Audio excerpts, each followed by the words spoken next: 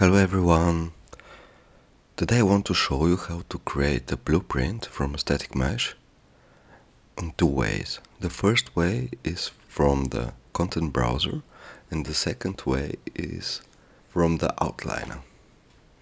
From the content browser when you have a static mesh like this Statue of Liberty you can make a right mouse click and create a blueprint class from type actor. So type like pp for blueprint statue of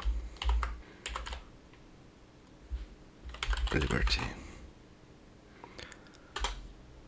So we can open the blueprint and just drag and drop the static mesh inside.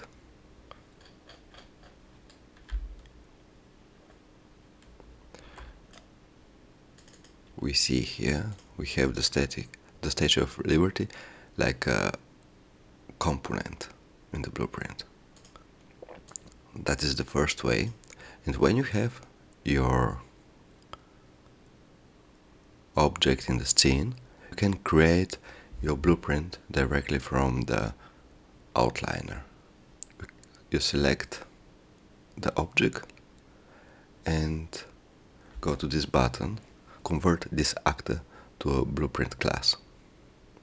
You click on it, like new subclass, you choose where you want to save it, what's the name, that will be like BP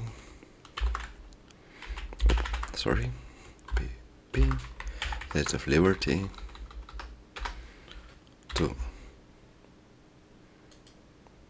Click on select and you create one more blueprint with the same static mesh inside. When we open it,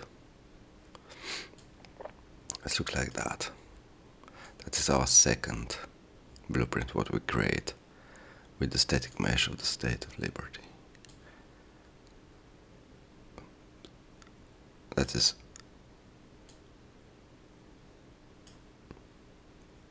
And here we have the first one. So that's the two ways how you can create a blueprint from a static mesh.